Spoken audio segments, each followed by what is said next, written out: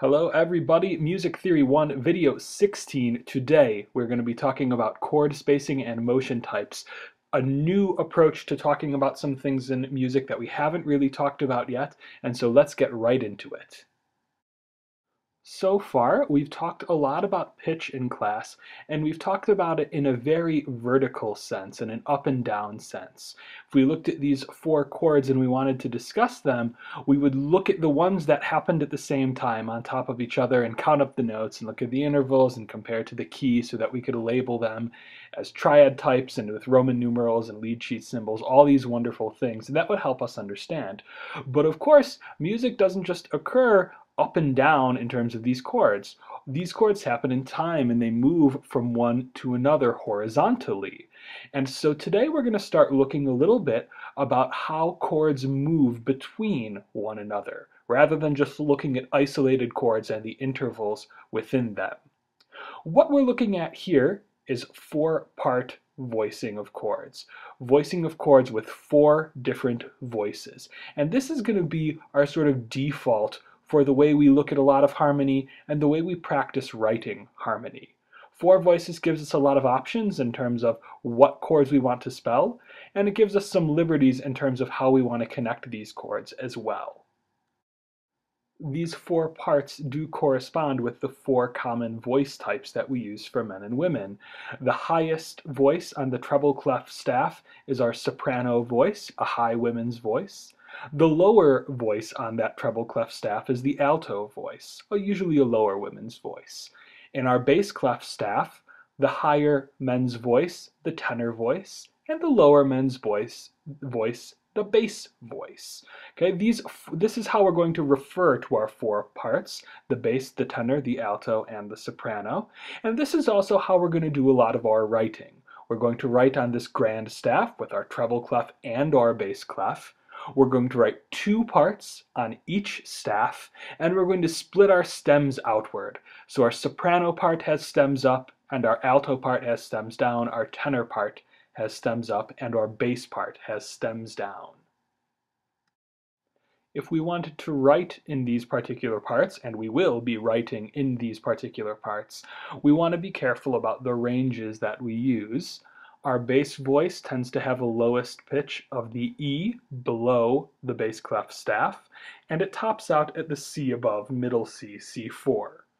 Our tenor voice tends to have a lowest pitch of the C below middle C, C3, and its highest pitch is that G above middle C, G4. Our alto voice, its lowest pitch is tends to be that G below middle C, and it can go all the way up to the D inside of our treble clef staff, D5.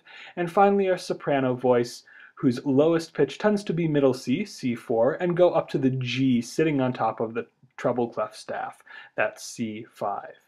Professional singers' ranges often vary and oftentimes go wider than these, but these are nice conservative ranges that a lot of people can work with. In our part writing, when we are writing music, these are the ranges we're going to want to keep in mind.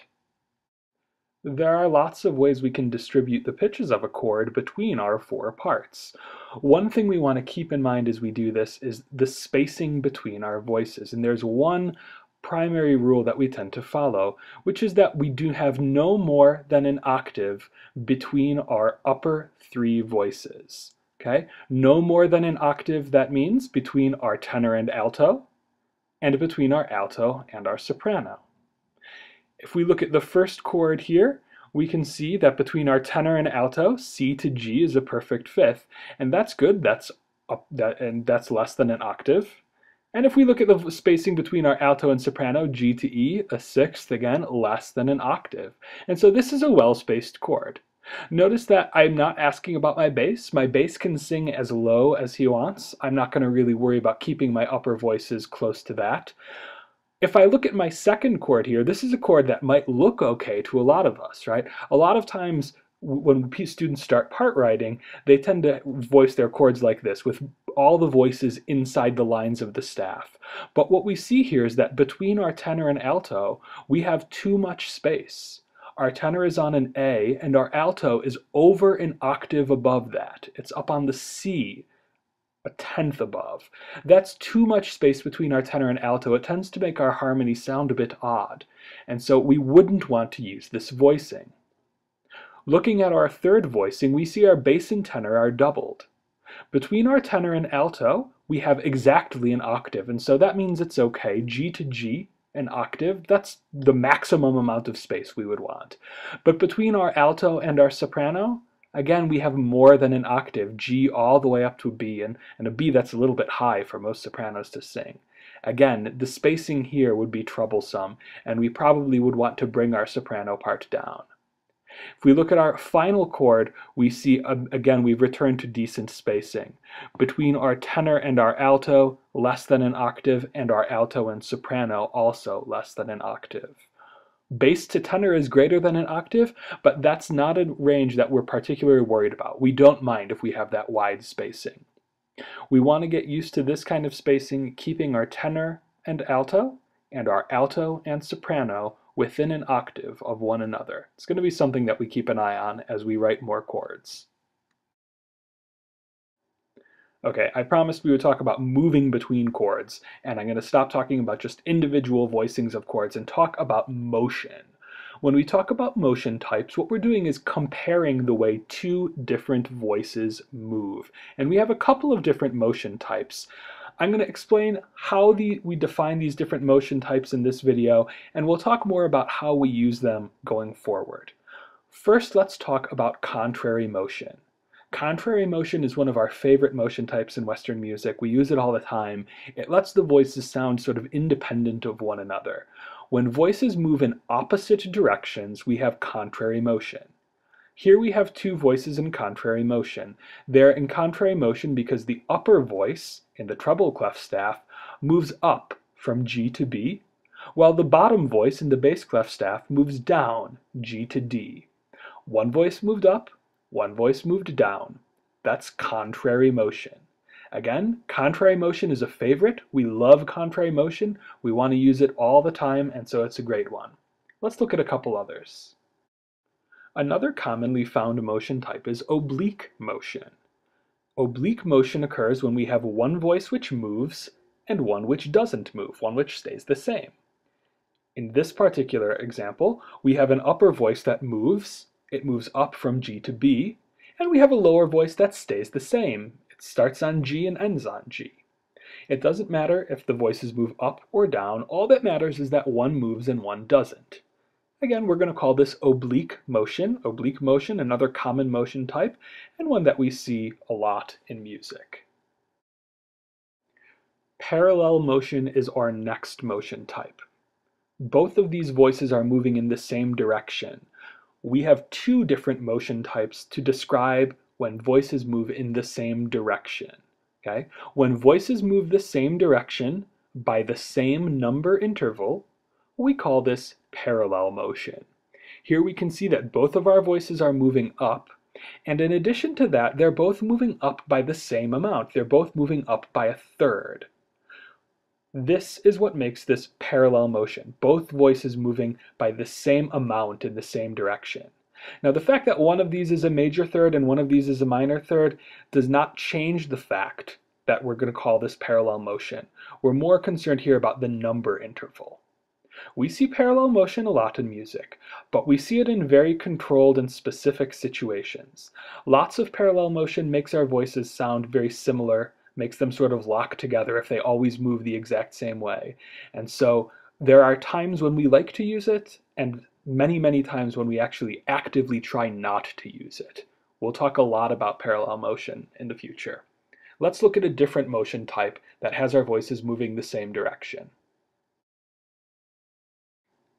Okay, now we've got a different example here. Again, both of our voices are moving in the same direction. The upper voice moves up and the lower voice moves up. But this is not parallel motion, and that's because the voices are moving by a different number interval. Our top voice is moving up by a third, but our bottom voice is moving up more. It's moving up by a fifth. When our voices move in the same direction by different number intervals, we're going to call this similar motion, similar motion. Like parallel motion, it's something that we're going to use carefully in music, and we'll talk more about the specifics of how we're going to use all these in the future. Similar motion though, again, another motion, both moving same direction but different from parallel because they're moving by a different interval, a different number interval. Here's our last and in some ways favorite motion type, static motion. When both voices stay the exact same, when nobody moves, we have static motion. Okay, we this is different from parallel motion. Sometimes we think of this like parallel, but parallel motion means both voices have to go somewhere by the same interval. When they both go nowhere by the same interval, I guess, uh, we call it static motion. Static motion is great. We can repeat things for as long as we want safely, and so uh, we love static motion. When we are writing, we look to see how many times we can repeat notes. That, that tends to make things a little bit easier for us. Here's a quick summary of our motion types. Contrary motion, when voices move in opposite directions. Parallel motion, when voices move in the same direction by the same interval. Similar motion, when voices move in the same direction by a different interval. Oblique motion, when one voice moves and one stays on the same pitch, and static motion, when both voices stay on the same pitch. We're going to want to know these terms and want to be able to look at moving voices and recognize the different motion types. It's going to help us connect our chords in skillful ways. We'll talk more about how to use these in the future, but for now we want to really focus on just understanding what they are and recognizing them when we see them. Motion types are pretty easy to recognize when we just have two parts, but when we look at a fully voiced four-part harmony, two fully voiced four-part harmonies in fact, we can actually see that there's a whole lot of motion types going on between all the different voices here. Let's take a look and see what kind of motion types we can recognize between our different voices, because there's so many different combinations of voices happening here. I'm going to start by looking at motion types with my soprano voice. First I'll compare my soprano and alto. My soprano moves down from E to D, and my alto stays the same G to G. One voice moves and one voice stays the same. That means between the soprano and alto here we have oblique motion. What about soprano and tenor? My soprano moves down from E to D and my tenor moves down from C to B.